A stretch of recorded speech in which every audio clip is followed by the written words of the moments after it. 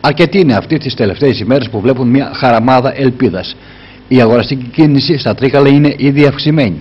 Με τον πρόεδρο του Εμπορικού Συλλόγου Τρικάλων, Χρήστο Μπουργούρα, να απευθύνει κάλεσμα στο καταναλωτικό κοινό να τιμήσει με την εμπιστοσύνη του τις τοπικές επιχειρήσεις. Και όπως λέει ο ίδιος, ταμείο θα κάνουμε στις αρχές του Γενάρη. Οι συνάδελφοι είμαστε όλοι με καλή διάθεση, περιμένουμε τους ε, ε, καταναλωτές ε, και τους ντόπιους αλλά και τους επισκέπτες να αρχίσουν να επισκέπτουν τα καταστήματά μας. Ήδη υπάρχει μια κινητικότητα διερευνητική, ο κόσμος βγαίνει έξω, ρωτάει τιμές, ψάχνει, βρίσκει αυτό που χρειάζεται. Περιμένουμε την κίνηση να ολοκληρωθεί τις επόμενες ημέρες, να κορυφωθεί τις επόμενες ημέρες.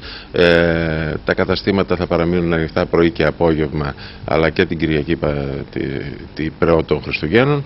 Θεωρούμε ότι τα Χριστούγεννα είναι μια οικογενειακή γιορτή και κυρίως ε, γιορτή που απευθύνεται στα παιδιά και παρόλο τη δύσκολη, το δύσκολο περιβάλλον και την αναστάτωση λόγω προεδρικής εκλογής και ενδεχομένως ε, εκλογών που έτσι υπάρχει στην ατμόσφαιρα, νομίζω ότι και φέτος ε, ο κόσμος θα βγει και θα κάνει τα ψώνια του και θα μπορέσει να βοηθήσει και την αγορά και τους συναδέλφους.